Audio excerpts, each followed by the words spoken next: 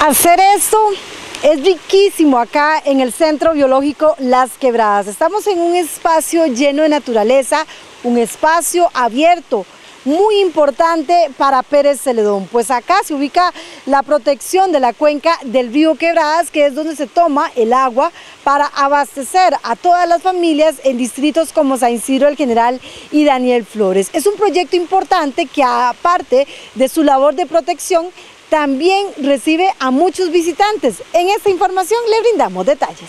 A 8 kilómetros del Parque de San Isidro de El General se encuentra la fundación del Centro Biológico Las Quebradas, un espacio lleno de naturaleza y aire fresco, ideal para compartir en familia.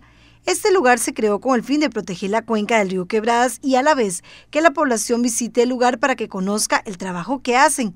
Precisamente con el fin de darle una mejor atención a los visitantes es que se realizaron proyectos de mejoras. Se reparó el albergue, la escuela de la naturaleza, se drenó y limpió la laguna, además de mejorar la red de 8.5 senderos. Se invirtieron alrededor de 15 millones de colones y esos trabajos en su mayoría se lograron concretar con el apoyo de voluntarios tanto nacionales como extranjeros. Aquí vienen muchos estudiantes de universidad ahora con las becas de FONAVE y además de que estos tiempos están más desocupados, entonces hemos tenido mucho voluntario nacional, eh, más que voluntarios, digamos, gente que tiene que hacer el TCU o que tienen que, eh, bueno, también aquí manejamos el programa de mm, con el Ministerio de Justicia, este, de la gente que ha cometido algún delito, que también vienen a hacer trabajo aquí. Justicia restaurativa. De tal manera, digamos que aquí nunca nos faltan voluntarios, ¿verdad? Gracias a Dios. Y son usualmente gente joven que, que ayuda mucho, ¿verdad? En el trabajo. Eh, pues hay que dedicarles tiempo y comprar materiales y todo, pero, pero usualmente los grupos cuando vienen también hacen aportes en, los materiales que se ocupan, entonces pues eso nos ha permitido mejorar senderos, ¿verdad? Que es muy importante, todos los senderos. Nosotros tenemos una red de senderos de 8.5 kilómetros, muy lindos. Eh, realmente es parte del gran atractivo que tiene la, fundación. A pesar de que no, eh, eh, digamos, está cerrado usualmente la cocina, por la soda porque solo se abre cuando vienen grupos. Pudeviol es un lugar muy amplio que cumple con todos los protocolos necesarios. Entonces la gente se distribuye aquí porque una vez de 8.5 kilómetros de senderos, la gente se, aquí viene básicamente a caminar. Y tenemos además, aquí se ve que tenemos estas instalaciones que están separadas, entonces manejamos las burbujas sociales, ¿verdad? La gente se separa los fines de semana, sobre todo que llega mucha gente.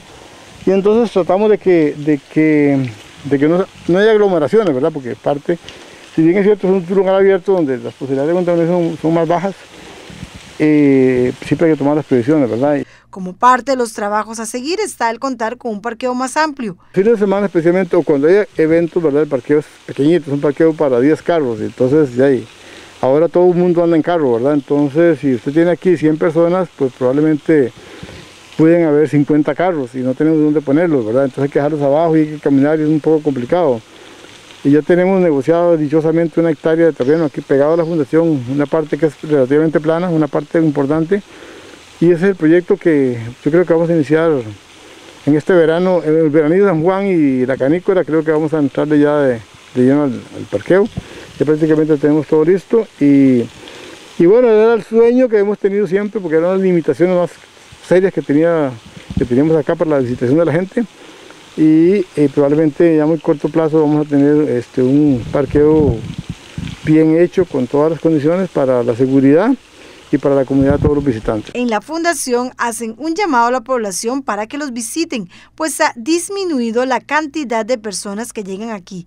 Los recursos que generan por las entradas aportan un 33% de los ingresos de la agrupación. Hemos pasado etapas muy difíciles al inicio de la pandemia, el primer año donde prácticamente yo recuerdo que los primeros dos meses hay entradas de 45 mil colones por mes, ¿verdad? Nosotros tenemos aquí gastos casi de un millón de colones por mes. Eh, entonces fueron tiempos difíciles, que nos comimos algunos pequeños ahorros que teníamos.